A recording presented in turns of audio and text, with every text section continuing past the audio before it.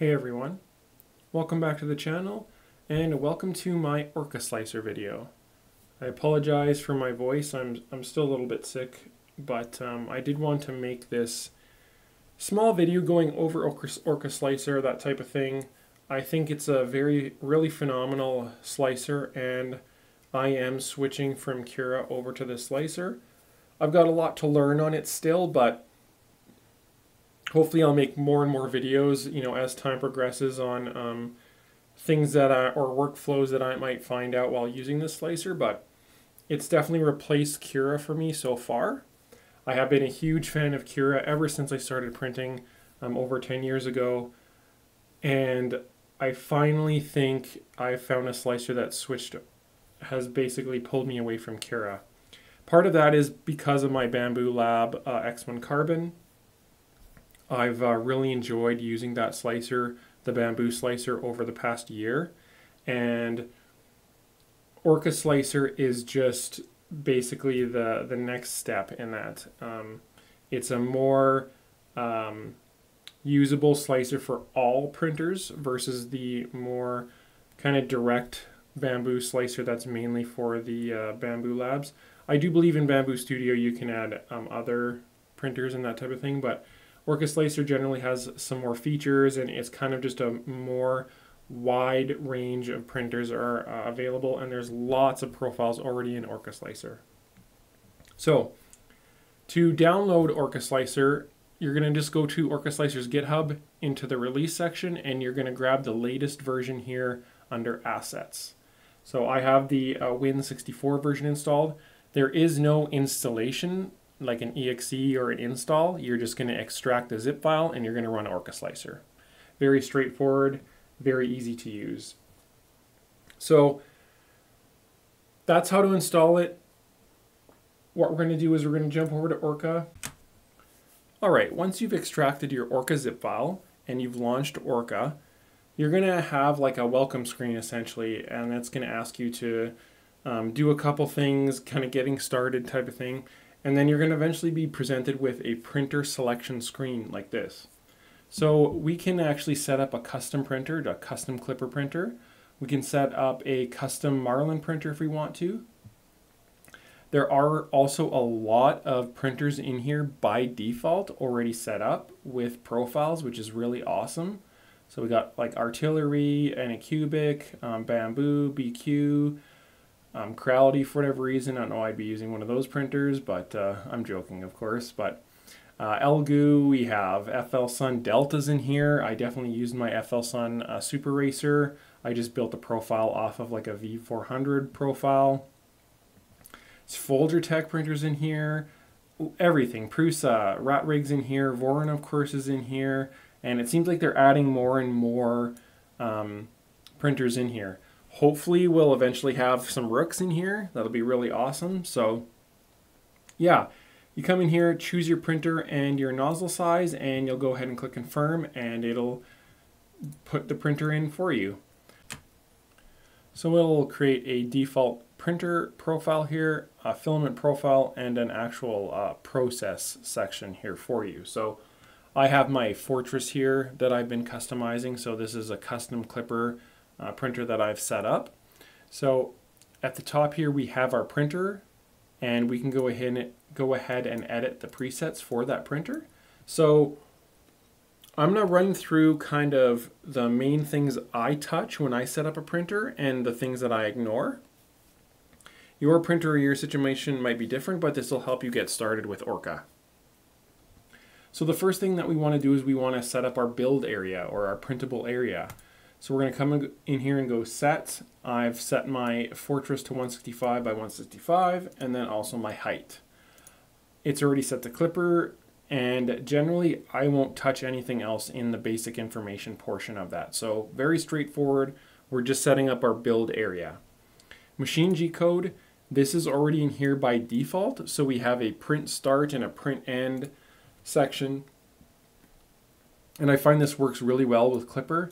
So again, I'll talk about a print start macro near the end of the video as well as a print end. Generally, you're going to want to have a print start and print end macro set up. it's just easier to use uh, use it with Orca Slicer, and they're very simple. Like I say, I'll show you mine here at the end. Motion ability. This is the defaults. I have not touched this. This is kind of the general maximums of your printer. Um, if you want to be safe, you can dial these in, but generally it's okay to keep them like this for now. You might want to increase some of these values if you're printing super fast or you're printing over 20,000 acceleration, that type of thing. The next real mo most important tab is extruder. So this is where you're going to set up the retraction free extruder, retraction speed, Z-hop, that type of thing. Again, I'll generally come in here and I'm just changing my retraction length, my retraction speed, and then I might play around with Z-hop a little bit. Orca does have a lot of advanced types of Z-hop, which also help with different types of stringing problems and things like that. So definitely check that out. By default, it's set to normal. And that's essentially it for setting up a actual, the printer settings, the physical printer settings. There's not much else in here that I change. If you'll notice here, we also have a little Wi-Fi connection here, which is really cool. Orca has built-in support to connect to Klipper. So again, Cura can do this, but you need a plug-in and all that kind of stuff. It's just in here by default. You put in your IP address and we'll show more functionality on that in a little bit. So really nice to have that built in there. And then we're going to set up a filament profile. So we already have a basic one that it gives you. I've just named mine PLA Fortress. And again, we're going to come in here and go through some basics. Generally, I will just come in here and I'll set up my temps for my filament. So I generally print a hot first layer, and then I'll go to down to 195 for the rest of the layers, and then my bed. Volumetric flow set by default in Orca to 12. You can increase that, of course, but 12 millimeters uh, cubed is great for most printers. You can also dial in your flow ratio here, which is very, very important when dialing in tolerances and stuff for your prints. A lot of people don't dial in the flow for their actual um, materials. So for instance, PLA generally likes to print around 0.98, 0.97 for a lot of different PLAs. Uh, you almost will never print PLA at one flow or 100% flow. ABS is even lower, so that's another setting in here I might come in and tweak, but 0.98 is a great starting point. Cooling is also in here. Your actual layer uh, cooling time is in here, which is an important setting to know about if you're looking at printing fast. So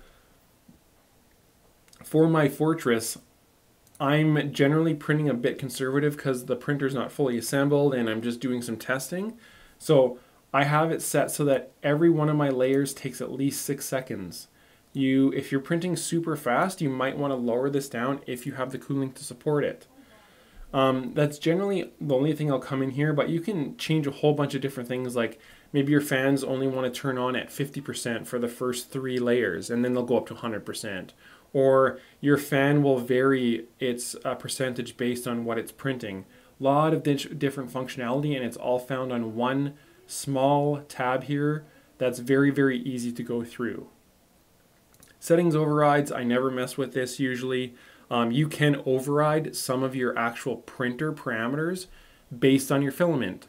So TPU, for instance, you might want TPU a different retraction length or stuff like that. So you might come in here and actually dial this in to override some of your extruder settings and printer settings from the previous um, options. Advanced, um, I, I, don't do anything in here. You can have separate G code for the filaments that you're actually running. So again, very straightforward. I am of course always in advanced mode, so we have all the options.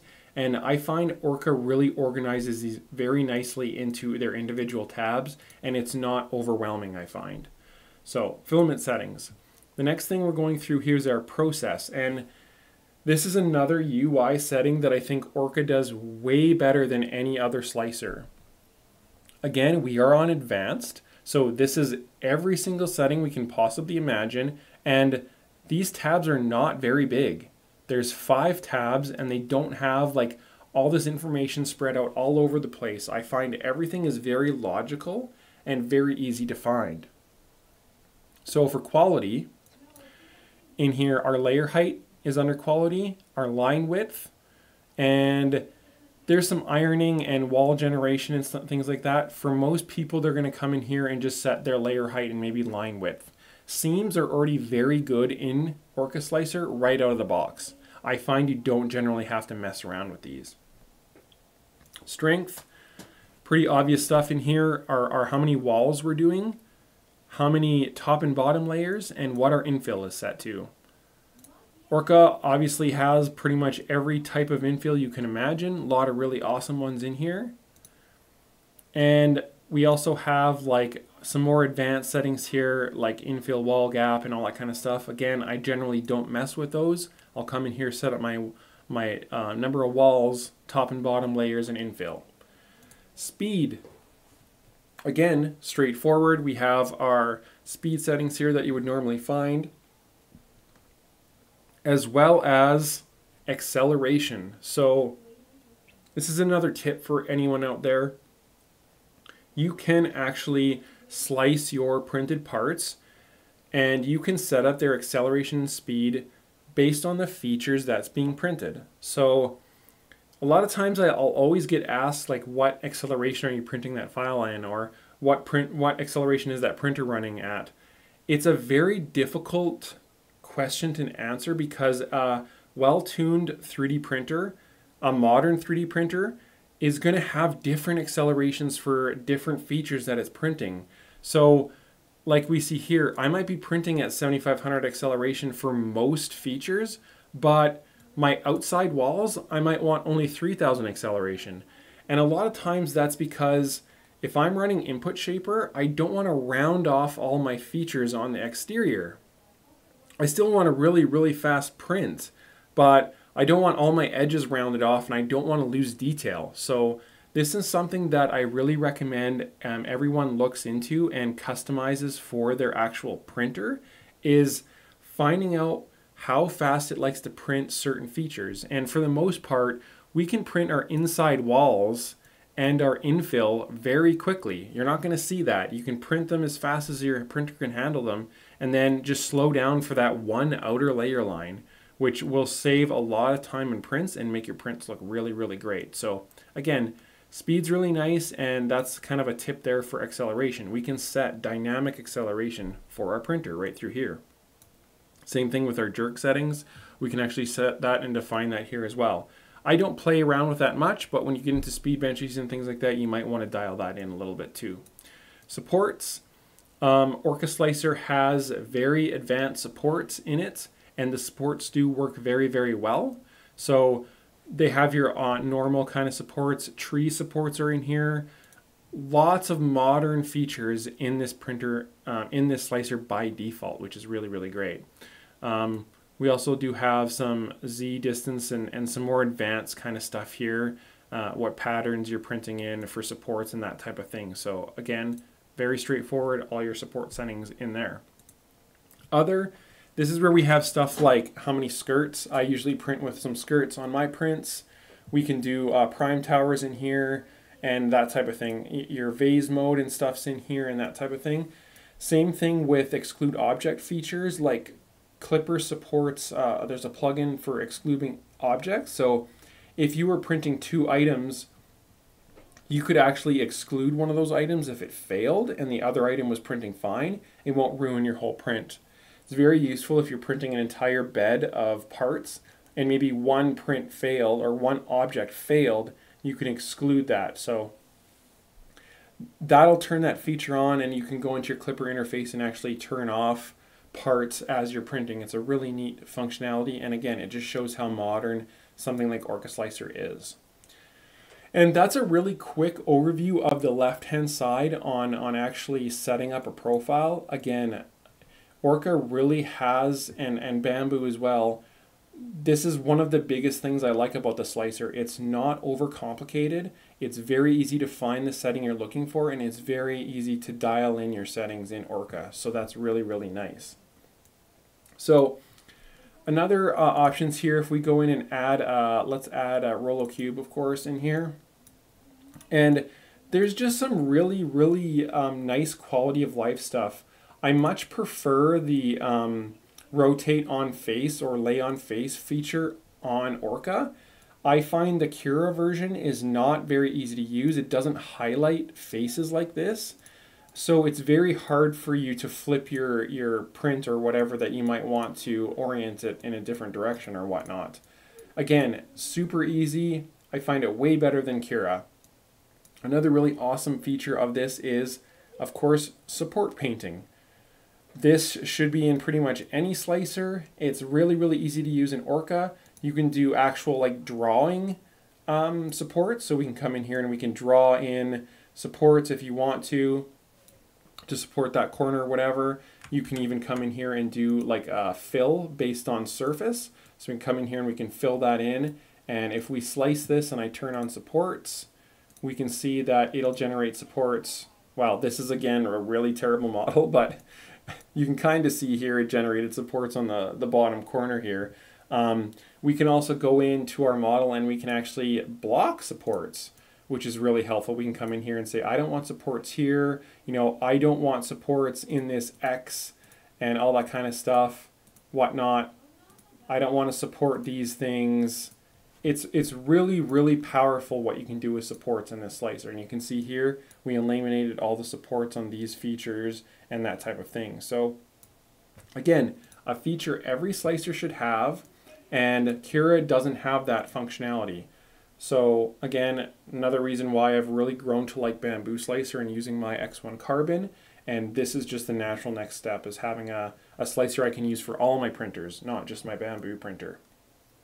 So that's really nice there. A lot of interesting features. Of course, this supports the multicolor options that the Bambu Studio would support. So that's really nice as well.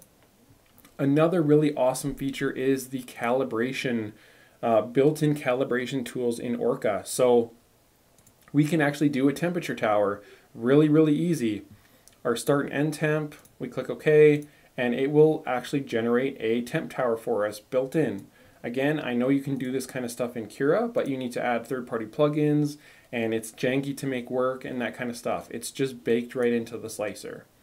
There's flow rate, another, like I talked about, your flow rate is very important to dial in for PLA and ABS. So you can actually go in here and set up a flow rate test. So you can actually fine tune your flow rate, which is you should do on any printer and any filament. You can actually go in here and we can dial in pressure advance. Another uh, functionality that you want to actually dial in to get nice clean prints. So we can do a pressure advance cube or, or whatever here and dial that in. It also um, has retraction tests and, and that type of thing. Same thing with flow rate. It's really, really easy to test out hot ends with Orca Slicer. So doing max flow rates, you can set what flow rate you're going to start at and what you're going to end at. And it will generate a really awesome flow rate test um, for your actual printer, which is really, really cool. I really like that feature. And there's also a really good tutorial. If you click on tutorial, it'll pop open um, a window here of all of the calibration tests and explain on how they work and how to use them. It's really, really well done. So again, that's all functionality that's just baked in and why this is um, replacing Cura for me.